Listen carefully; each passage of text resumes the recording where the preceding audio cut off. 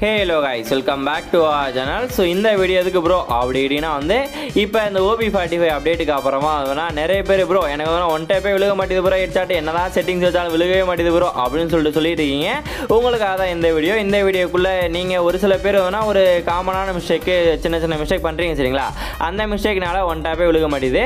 அதனால் இந்த வீடியோக்குள்ளே அந்த என்னென்ன மிஸ்டேக்லாம் பண்ணுறீங்க அப்படின்னு சொல்லி சொல்லியிருக்கேன். ஸோ இதுக்காக தான் இந்த வீடியோ அப்புறம் அந்த இன்ட்ரோ போகிற கேப்பில் லைக்கை போடல அப்படின்னா லைக்கை போட்டு விட்ருங்க அப்புறம் வேணா சப்ஸ்கிரைப் அதெல்லாம் பண்ணி விட்ருங்க சரிங்களா இப்போ இன்ட்ரோ போட்டு வீடியோக்குள்ள போயிடலாம் ஸோ வாங்க வீடியோக்குள்ள போயிடலாம். ஆனா அங்க ஏற்கனவே ஒருத்தன் தன்னோட கால் தரத்தை பதிச்சுட்டான்னு அவங்க யாருக்குமே தெரியல.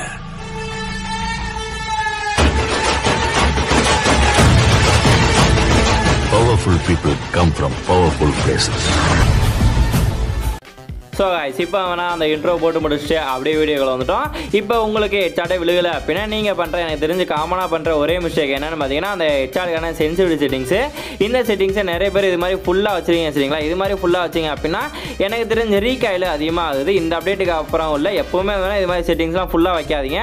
முடிஞ்ச அளவுக்கு வேணால் அந்த ஜென்ரல் ரெட் ஆட்டை மட்டும் கொஞ்சம் கம்மியாக வச்சு ட்ரை பண்ணுங்க சரிங்களா? உங்களுக்கு ரீகாயில் அதிகமாச்சு அப்படின்னா இந்த ரெட் ஆட்டு அப்படின்னு சொல்லிட்டுருக்கா இதை கொஞ்சம் கம்மியாக வச்சு ட்ரை பண்ணுங்கள் முடிஞ்ச அளவுக்கு என்ன கேட்டிங்க அப்படின்னா ஒரு இருபத்தி அஞ்சுலேருந்து ஒரு நாற்பதுக்குள்ளே வச்சுக்குவோம் சரிங்களா? நான் வந்து வேணால் முப்பத்தி எட்டு வச்சுருக்கேன்.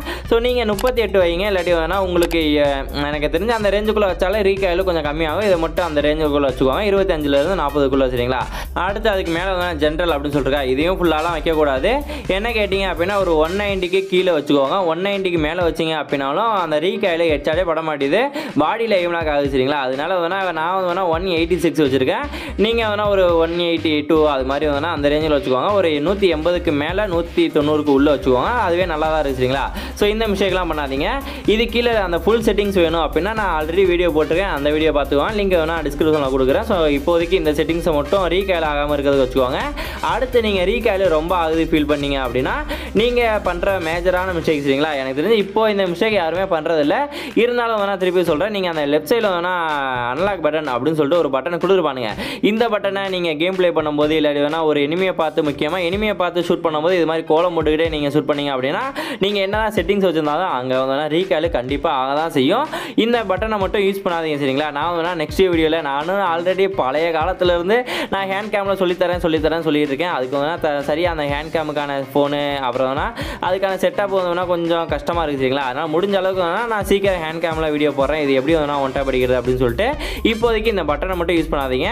அடுத்து மூணாவதாக ஒரு மிஸ்டேக் இருக்குது அது என்னன்னு பார்த்தீங்கன்னா அந்த ஃபேப்டன் சைஸ் தான் சரிங்களா ஃபேப்டன் சைஸ் நிறைய பேர் வேணால் இது மாதிரி ஃபுல்லாக ஹண்ட்ரடில் அப்புறம் வேணால் நைன்ட்டிக்கு அபோவ் வேணால் யூஸ் பண்ணுறீங்க நீங்கள் இது மாதிரி ஃபேப்டன் சைஸ் அதிகமாக வச்சாலும் ஹெச்ஆர் விழுக்காது அந்த ரீகேலே அதிகமாகும். ஏன்னா வேணா ஃபேப்டன் சைஸ் அதிகமாக இருக்கும்போது நீங்கள் லைட்டாக ட்ராக் பண்ணாலும் அது ஓவர் ட்ராக் தான் ஆகும். அதனால் வேணா இது மாதிரி ஃபேப்டன் சைஸ் அதிகமாக யூஸ் பண்ணாதீங்க. என்ன கேட்டிங்க அப்படின்னா இந்த அப்டேட்டுக்கு அப்புறமா அறுபத்தி ரெண்டு அப்படின்ற ஃபேப்டன் சைஸ் நல்லாயிருக்கு ஸோ இந்த ஃபேப்டன் சைஸை யூஸ் பண்ணுங்கள் முடிஞ்ச அளவுக்கு ரொம்ப பெருசான ஃபேப்டன் சைஸ் வைக்காதீங்க சரிங்களா? அதான் இந்த இந்த வீடியோவில் சொல்ல வந்த மிஸ்டேக்குன்னு ஸோ முடிஞ்ச அளவுக்கு வந்து இந்த ஃபேப்டன் சைஸில் மிஸ்டேக் பண்ணாதீங்க. நெக்ஸ்ட் மிஸ்டேக் வந்து பார்த்தீங்கன்னா அந்த எய்ம் லாக் சரிங்களா எய்ம் லாக்ல ஒரு சில பேர் மிஸ்டேக் பண்ணுறீங்க அந்த எய்ம் லாக் வந்து எப்படி கரெக்டாக பண்ணுறது அப்படின்னு சொல்லி சொல்லி தரேன். அதுக்கு முன்னாடி நம்ம சேனலுக்கு கண்டிப்பாக வேணால் நிறைய பேர் புதுசாக வந்திருப்பீங்க. இந்த வீடியோ ஒருவேளை நீங்கள் புதுசாக பார்த்துருந்தீங்க அப்படின்னா மறக்காம சப்ஸ்கிரைப் பண்ணி வைத்துக் கொள்ளுமாறு மிக தாழ்மையுடன் கேட்டுக்கொள்ளப்படுகிறது.